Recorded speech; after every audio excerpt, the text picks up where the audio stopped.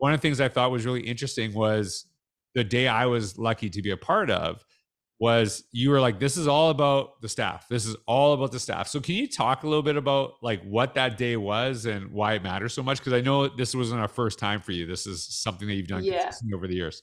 Absolutely. So it's we call it our staff wellness day. We take one pd out of the year and it's hard to do because you only have so many. Yeah. Um, but we've made it sacred. Um, i started it when i was a curriculum supervisor kind of went out on a limb asked my superintendent who was super supportive and said sure tell me what it's going to look like and what you want to do. Right. we had come to this point in time where all we did was talk about self-care. Oh educators are burnt out well they need to do self-care. Oh they need to take time right. for themselves. They need to do this. And i'm like well, what does that mean? Like, I, you can keep telling me self care, self care. Like, I don't know what that looks like. Um, I think I'm taking care of myself. I'm not really sure. Right. So I just said, like, what if we just do a day that's all about educators? And we started with like a staff meeting in the morning to try and get in the PD that we needed to get in. And then we asked the community, and we have a very supportive community, like, hey, can you help us out?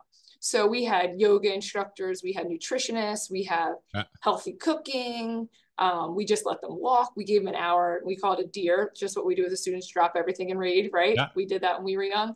Um, and we just let them sign up and had the whole day where, yeah, we took the whole afternoon and you guys get to pick what you want to do. And it's you do it. If you're not planning anything, you're not doing anything, you're literally just showing up. They don't have to pay for anything. Um, everyone's pretty much volunteer based or the district covers yeah. the cost of whatever they need. And the staff reviews were like, through the roof. Like everyone right. loved it. They really appreciated it. Thank you so much. We got a lot of staff that just said, we're so happy that we got to do this. Even just spending time with a coworker laughing right. about right. Them doing push-ups next to me, whatever it may be. So that has since evolved and we started bringing in like speakers. Um, so we really try and like hit a home run, which we did this year with bringing in a speaker that really talks to teachers about not about what they need to do, but right. how what they're doing already and how they can kind of fine tune their craft. So, and then me. we also that was me. that was you. Yeah, that was you. George came and knocked it out of the park this year. Yeah. Um, we provide a healthy. I was like, are you talking about someone else? nope. Talking about me as a third person. Like two years ago, we had a, we two years ago we had a comedian, and they loved that too. But I mean, you provided plenty of laughs yeah, throughout. There wasn't. I, I always jokes. look. Yeah, whenever we have a speaker, I always look around to see like the vibe in the room because I'm always just like, all right, well, if everyone's yeah. on their phone, um, and even you who said like, I'm not afraid if you're on your phones, go ahead, like scan this. I want you to tweet about me. I mean, people were like eye to eye, engaged, coming up to you after, and when you start the day with that kind of energy, it lasts all day. So after they left you, they had a little healthy snack from a local um, business and went about. We had pickleball, we had HIIT classes, we had oh. cookie decorating, the whole nine. Okay, um, so I gotta I gotta ask you this question. So I don't yeah. know how long you've like I don't know how long you know me, but probably the last I don't know four years I've been very focused on being healthier, like way healthier, mm-hmm. and I've like I've always worked out, but it's like I've got my eating in check. Now I'm not like hundred percent. I'm not like keto or anything like this, but I eat pretty healthy.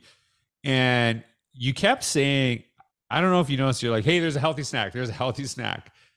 And I go into districts all the time, and there's pretty rarely healthy snacks. Like it is like pretty bad. And I I don't know if that's like why is that so intent like why was that so intentional? And I I actually think it you know I, there's like a a Seinfeld episode where Elaine I know I'm like obsessed with mm-hmm. Seinfeld right now.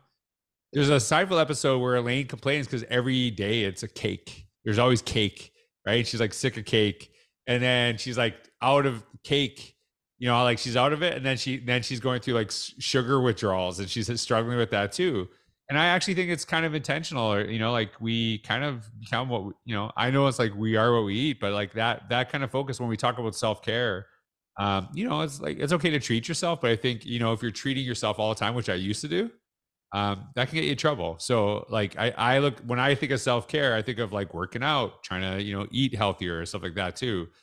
Why was that so intentional and maybe I shouldn't even be asking this too, but I, I think it is. Yeah. I thought it was like really interesting when you, uh, you're like, "Hey, we got healthy snacks. We got healthy snacks," and I thought that was really powerful. Yeah, so it's a celebration day, right? And and Elaine's right in Seinfeld. When there's a celebration, especially I feel like at a school or a place of work, like somebody's bringing cake or somebody's bringing yeah. cupcakes. Like my door every day is open, and I can't tell you the number of kids that come through and they're like, "It's my birthday. Here's a cupcake. Do you want one?" And I always say yes I don't always eat it, but I always say yes because I want them to feel that I va- right. value their birthday. Um, but on Wellness Day, I want the staff to know like the district is providing you a snack that is good for you today to fuel your body because I feel like if we put it out there, it'll be like, all right, cool, it's a celebration. Like, let's bring in a cake. And it's like, nope, we're going to celebrate you and we're going to have an acai bowl, which right. some people might argue that that's not the healthiest thing, but we've had like energy bites in the past or a veggie tray or something like that. Um, this year was the first time we did the acai bowl, trying to do something cool that people really do enjoy. Yeah. Even if it is a little treat, but it's good for you. Um, but we wanted to fuel them. We wanted to let them know we appreciate you be, without just doing like a, a cookie, like if you give a teacher a cookie type of thing.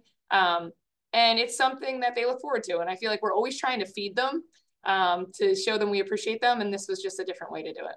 Well, okay, so I this this is my trick for anyone. You know, this was my trick. You have to if you're like trying to get your because when you eat, like I love cookies. Cookies are my weakness, mm-hmm. and they always taste good when I have them, but I always feel worse after. Right? Yep. And so my trick when I eat healthy is not to like just eat healthy foods because they're healthy, but eat foods that I love that happen to be healthy.